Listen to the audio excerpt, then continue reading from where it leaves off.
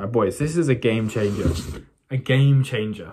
If you're trying to focus on yourself, if you're if you're trying to avoid giving away your energy to people that you don't want to give it to, right? So a lot of guys they will say, okay, I'm not looking for any sort of relationship right now. I just want to work on myself. I said this for ages. I said this up until like a few days ago, but I'd still go down the street and do this thing. I'd go down the street and every single attractive girl I would look at. Every single one. And this video is inspired by uh, Elliott Hulse, if you know who he is. Um, not like a massive fan of him, I just saw one of his videos.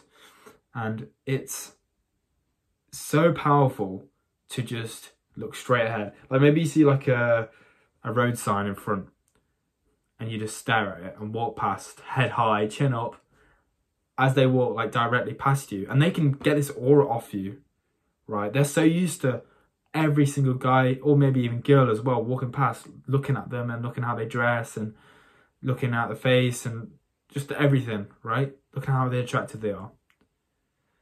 But when you do that, you've got to realize that you're giving somewhat of your power away. You're giving somewhat of a good feeling away. Because every time you look at that and you don't act on it, I'm saying, I'm not, I'm saying this video is for guys that aren't actually not looking for anything right now. Like if you're looking for something, yeah, look at girls and then start a conversation. But if you are genuinely serious about this and you actually want to double down on your life before you look at relationships, then look ahead. Look at where you're going. Be in the present moment, right? And I'm not saying you can't appreciate beauty, but if you're not going to act on that desire, then what's the point in like slightly indulging in it? It's like social media and having this ability to look at any beautiful woman you want. You can't do anything about it. What's the point?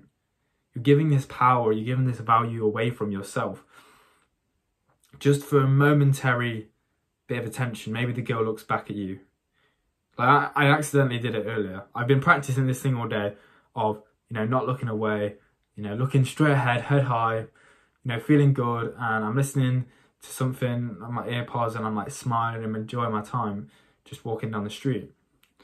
And just mm, as they walk past me, just staying straight on. And you can, you can, like, you can see when someone's like looking at you they're waiting. They look. They look at you and they're waiting for you to look back.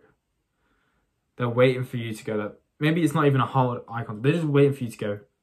Just like dash your eyes and dash back to where you're going. I'm saying don't even do that, man. I'm saying just breathe in and stride. You know.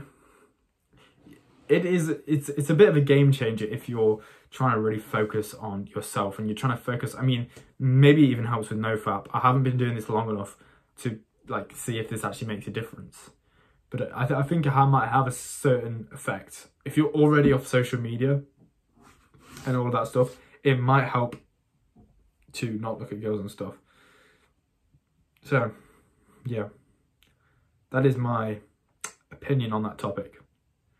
And I, I do recommend, maybe this isn't for you, but I recommend to try it once or twice and just see how it feels. See how it feels. And next time you walk past a pretty girl, you can see her in the distance. You can just, before you're even close enough to like tell that she's a, tell, before you're even close enough to like make solid eye contact, like they're just too far, you get this idea of their like silhouette almost that they're going to be attractive by the time maybe their hair's done or whatever. And then by the time they walk past you, you're just laser focused on where you're going, what you're doing, on the present moment. So, boys, try it out. Let me know how it goes. You know, keep that power to yourself unless you actually want to achieve something out of it, you know? Peace out.